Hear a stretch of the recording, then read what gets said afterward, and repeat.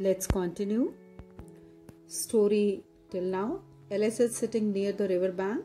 She is getting bored and she sees a rabbit and the rabbit it quickly jumps into a hole and Alice she follows it and she finds herself falling in a deep well. Down, down, down. Would the fall never come to an end? I wonder how many miles I have fallen by this time. She said aloud, I must be getting somewhere near the center of the earth. Dear children, Alice continued to fall deeper inside the well and she is surprised that she has not reached the bottom of the well yet.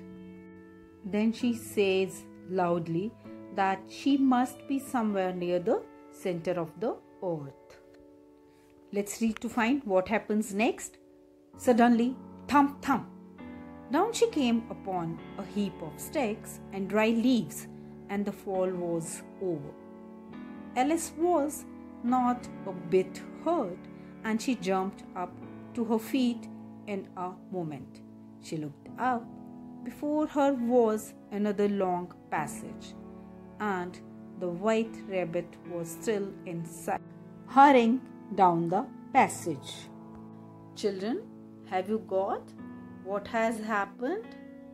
Thump means hit or strike heavily.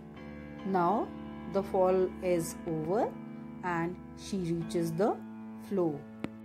She is not a bit hurt because she falls on the pile of sticks and dry leaves. She jumps up to her feet and finds that the rabbit is moving into a, another passage quickly.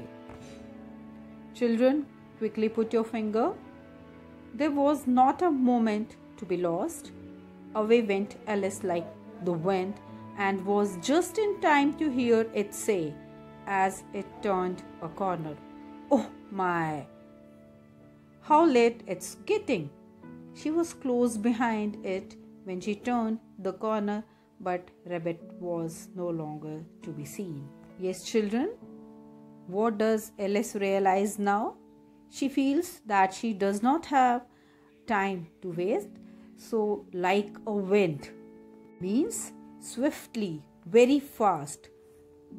She chases the rabbit and she sees that rabbit has turned a corner and she is quite close to it but all of a sudden the rabbit disappears. We will continue our reading in the next video. Thank you